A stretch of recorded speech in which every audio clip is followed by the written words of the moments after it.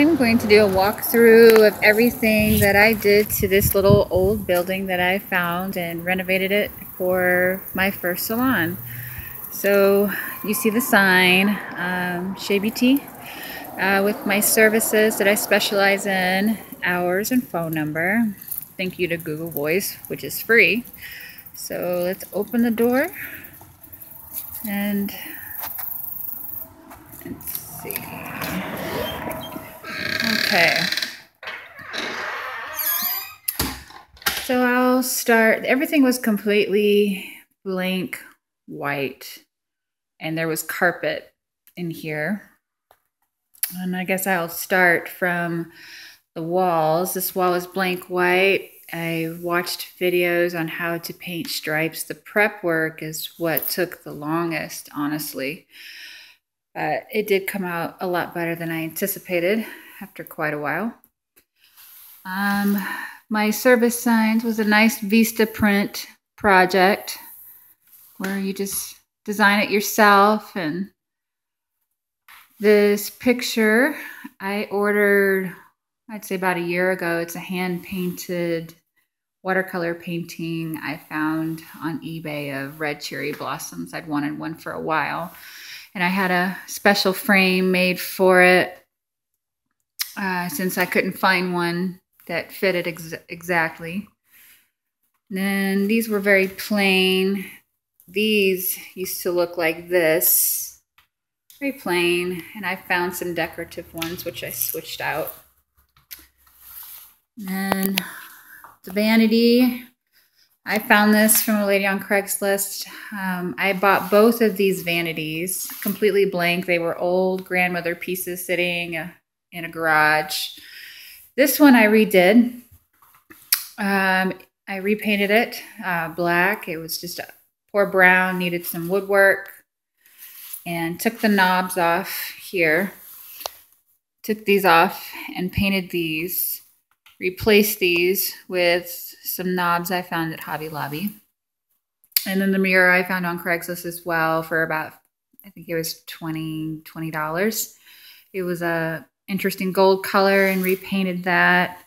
This is my original salon chair that I've had for several years since I was in school that I bought from Miss uh, Bobby, uh, the salon diva in Overland Park. And I've kept it ever since because it's a really good chair. And come further down, this chandelier I found on eBay. And I bought this about a year ago so because I knew eventually I'd want to build a salon. And it was actually very affordable. It was $50. My landlord installed it for me since he's an electrician. This table, this glass table I found on Craigslist as well for a steal of a bargain. The seat covers were very plain beige. So I took the material off and reupholstered it with fabric that I bought at Hobby Lobby. This wall was plain white. And I had originally wanted wallpaper, but the order kept getting screwed over. So I was left with the choice. I painted it red and actually made a stencil. The stencils for walls, if you order them online, are usually about 150 to 160 dollars. So I took some that I already had, bought one more of the one that I had, and made the stencil, taping it together and eyeballing it, testing it out. And then I did the stencil, just started my pattern at the top and worked my way down and kind of eyeballed it and went all the way down the hallway. And here, I'll turn on the light. This was blank storage. I had nothing in front of it. I had this fabric for a while. I originally had wanted to build a home salon in my basement and thought about draping the walls that were unfinished, which turned out I could not do that. So I took this fabric and I have a sewing machine, so I sewed it into a curtain to put in front of this to block it off and still keep it nice and pretty.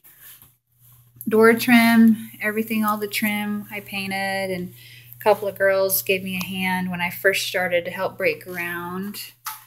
And this is my bathroom. As you see, I kept the idea of the stripes, which it's much easier just to do a partial striped wall. And installed these nice shelves, these little cute shelves. And my best friend gave me these LED, these battery operated candles. And they were a little worn at the bottom, so I had the extra fabric and I just sewed some cups, some cuffs to go around it to just to give it a touch and tie the theme in. Found this little for Hobby Lobby when they had the 50% sale, and I've had this picture of my beautiful Marilyn for a while. in my vintage Hollywood pictures. Nice red trash can that was cheap at Walmart. This flooring, I did the flooring myself, installing sticky tiles which the hardest part was actually around the toilet because usually they recommend for you to take it out and I did not want to do that. So I figured out how to trace the pattern around the bottom of the toilet and cut it kind of freehand it by cutting it um, which worked out okay actually because you can't really you can't really tell you know there's a very tiny gap so it worked and then mirror, this was just a simple replace a mirror. Add a little bit of cute little hand soap for my ladies.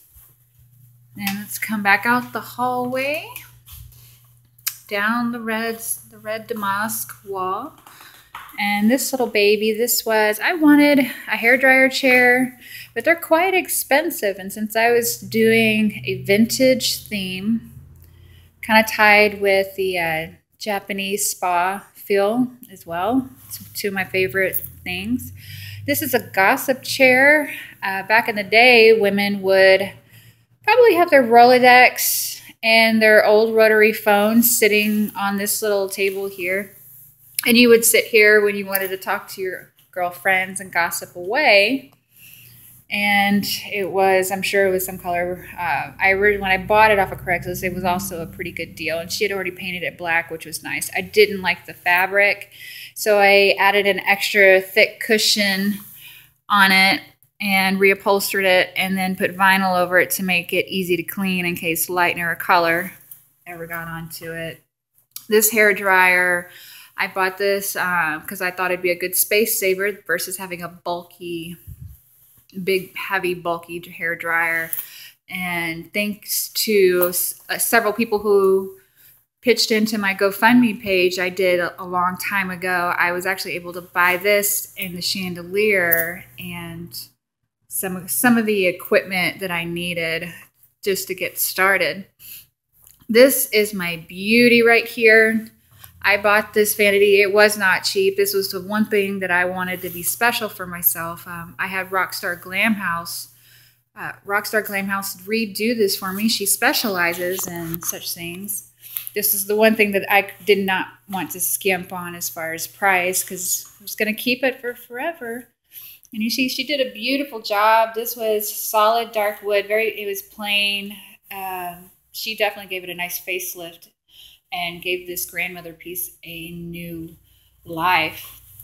On the side, you see where she did the tufting and added the jewels, the stenciling. She stenciled every piece of this vanity and did the doors, added the texture, beautiful crystal knobs, the nice drawers, you know, painted in and out which I won't be putting anything in this, honestly. This will not be touched.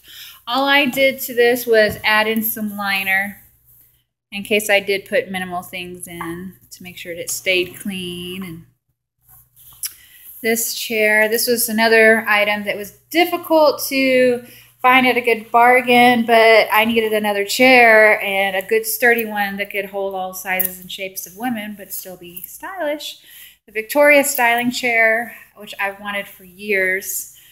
I did catch it on sale, but it wasn't much of a sale, like 70 bucks. These chairs usually go for uh, like 380 to $450.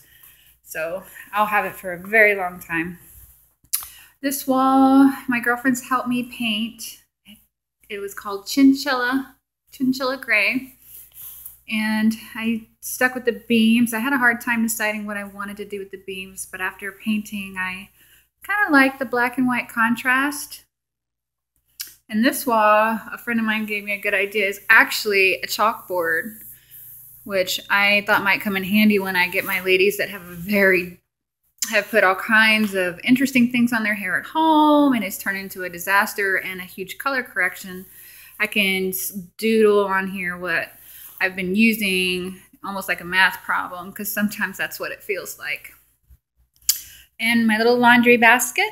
This was a Savers thrift store find, $6 for my dirty towels and these cute little shelves my Melissa Craig, one of my clients, she made for me because shelving turned out to be one of the things that was difficult to find at a fair price no matter how I looked at it, it was going to be expensive. So she made these, painted them, and stenciled them for me because she knew what kind of a theme I had. Five of them for $30. You can't really beat that. And my John Amico line, which Bobby Sue introduced me to, that's all natural. So far, I like it. And my waiting room chairs, which is kind of difficult to see because of the glare from the window. These are plain red oak office chairs. They were $15 for both of them. And I took them apart, stained and painted the arms, reupholstered the uh, the whole chair fabric, added vinyl, and tried my own tufting with crystal buttons, which you can see here. And of course, vinyl. It's very, very old school, but in a salon, I'm not going to want to struggle keeping it clean the nice little middle table. That was a Hobby Lobby find when they were doing their 50% or 40% off. And added some curtains, some nice sheer white curtains. I had one and found another one to match at Walmart. And now you can't see it too well.